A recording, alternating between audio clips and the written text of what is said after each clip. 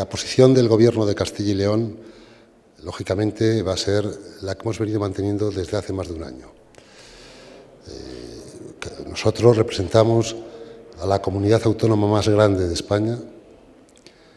Tenemos un tercio de los municipios de toda España. Tenemos el 35 o el 36% de las entidades locales menores de España y tenemos nueve provincias. Ninguna se ve más afectada que Castilla y León como consecuencia de esta reforma local. Desde el inicio hemos mantenido una actitud crítica desde que conocimos los primeros borradores, los primeros anteproyectos. Se habla de que ha habido más de 20 anteproyectos antes de convertirse en proyecto. Mantuvimos una actitud crítica que ha hecho que afortunadamente se haya ido corrigiendo poco a poco el primero el anteproyecto de ley. Le recuerdo que se hablaba de, financiación estándar. Nosotros dijimos que había que hablar de coste efectivo, no de coste estándar. Bueno, se han ido corrigiendo cosas hasta llegar el proyecto al Congreso. En el Congreso conseguimos que se corrigiesen, gracias a la colaboración del grupo parlamentario del Partido Popular en el Congreso, de los diputados en el Congreso, que se corrigiesen cosas relativas a las entidades locales menores y también cuestiones muy importantes para Castilla y León, como era el mantenimiento de los más de 3.600 consultorios locales.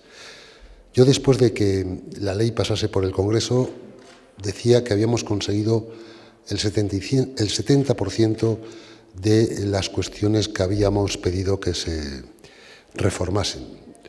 Yo les puedo decir que si todo sale como, como parece que va a salir, hay que esperar hoy a las 12 de la noche a que se presente, a que finalice el periodo de presentación de enmiendas. Si transcurre todo como está previsto, yo les anticipo que habremos conseguido más del 90% de lo que nos proponíamos. Primero, se mantiene todo lo que se aprobó en el, en el Congreso de los Diputados. Es bueno saber que la Federación Española de Municipios y Provincias quería dar marcha atrás en algunas de las cuestiones que se aprobaron en el Congreso de los Diputados. Se mantiene todo. Se avanza más todavía a las entidades locales menores. No solamente se las da un año para presentar cuentas, sino que además, por una enmienda que se va a presentar en el Senado, aquellas entidades locales menores que presenten cuentas, pero que el ayuntamiento no cumpla, no desaparecen Saben ustedes que en el proyecto la entidad local que presentaba cuentas, pero si el ayuntamiento titular no las presentaba o no cumplía, ella también desaparecía. Eso hemos conseguido también reformarlo en el, Senado por vía enmienda. Es decir, se, protege más, si lo, si lo permiten, a las identidades locales menores. Y luego, en cuanto a la prestación de servicios esenciales, que era nuestra principal, nuestro principal caballo de batalla, les puedo decir que, tal y como anunciaba hoy el ministro en su primera intervención, eh, se va a presentar una enmienda que vincula la transferencia que actualmente eran competencias propias de los municipios, que todavía hoy son competencias propias de los municipios, se transferirán a las comunidades autónomas una vez que se haya reformado el modelo de financiación autonómica y el modelo de financiación de las haciendas locales. Era algo que veníamos solicitando, no teníamos miedo a gestionar más, pero siempre dijimos que, que cualquier función, cualquier competencia debía venir financiada.